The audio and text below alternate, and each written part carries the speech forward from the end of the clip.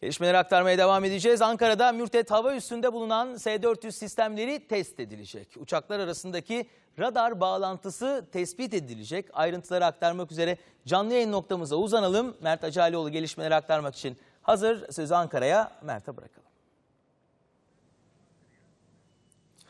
Haktan Ünsal S-400 hava savunma sistemlerinin test aşamasına gelinmiş durumda. Bununla ilgili öncelikle dün akşam saatlerinde Ankara Valiliğinden bir açıklama yapıldı. Çünkü F-16'lar havalanacak ve Ankara'da yüksek ve alçak irtifadan uçuşlarını gerçekleştirecek. İşte bu hususta e, tedirginlik gerektirecek bir durum yok. E, savunma sanayinin yapmış olduğu, yürütmüş olduğu projeler ve çalışmalar kapsamında F-16'ların alçak ve yüksek irtifada uçuş yaptığını ifade edilmiş durumda ve bunun ardından da bu uçuşların neden olduğunu tabii ki birazcık e, araştırma imkanı bulduk. Savunma sanayinden yapılan, e, edinilen bilgilere göre de S-400 hava savunma sistemlerinin test edildiği test edileceğine ulaşmış durumdayız. Bugün ve yarın itibariyle F-16 uçakları havada olacak ve bu hususta S-400 hava savunma sistemleri için intibak, radar takip ve tanımlama testi gerçekleştirecek.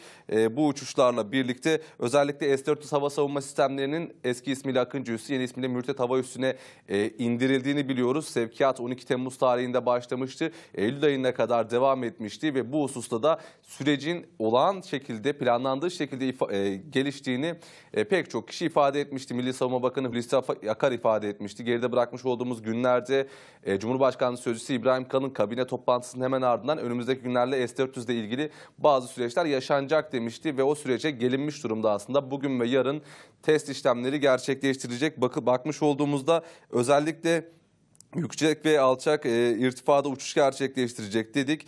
E, uçuşlarda radar sistemi test edilecek. Test faaliyetlerinde sisteme uçakların tanıtımı da gerçekleştirecek. Bu da oldukça önemli. Çünkü e, bilindiği üzere bu uçakları e, bu sisteme tanımlayacağız ve daha sonra bu sistemleri tanıdıktan sonra ona karşı herhangi bir hamlesi, karşı bir müdahalesi olmayacak. S-400 hava savunma sistemlerinin bu testler e, bugün ve yarın itibariyle gerçekleştirilecek. Yine Milli e, Savunma Sanayi Başkanlığı'ndan da önemli açıklamalar gelmişti. Sürecin olağan şekilde devam ettiği, planlandığı şekilde devam ettiği belirtilmişti. Nisan 2017'de S-400 hava savunma sistemleriyle ilgili imzalar atılmıştı. E, süreç planlandığı şekilde devam etmiş. Temmuz ayında S-400 hava savunma sistemleri gelmeye başlamıştı ve artık da test aşamasına gelinmiş durumda. Nisan 2020'de de S-400 hava savunma sistemlerinin tamamıyla Türkiye'de olması ve bu sistemlerin artık faal hale getirilmesi de bekleniyor. Bu kapsamda öncelikle planlandığı şekilde testler gerçekleştiriliyor. Şu anda bizim askerlerimizin zaten eğitim aldığını biliyoruz. Bunlar da eğitimin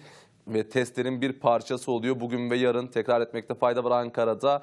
e, alçak ve yüksek irtifada F-16'lar havalanacak. Yine vatandaşları bizler duyarın. Herhangi bir tedirginlik yok. S-400 hava savunma sistemleri bu hususta test ediyor ve uçaklar S-400 hava savunma sistemlerine tanımlanıyor diyelim. Sözü tekrar size bırakalım. Aktan Ünsal.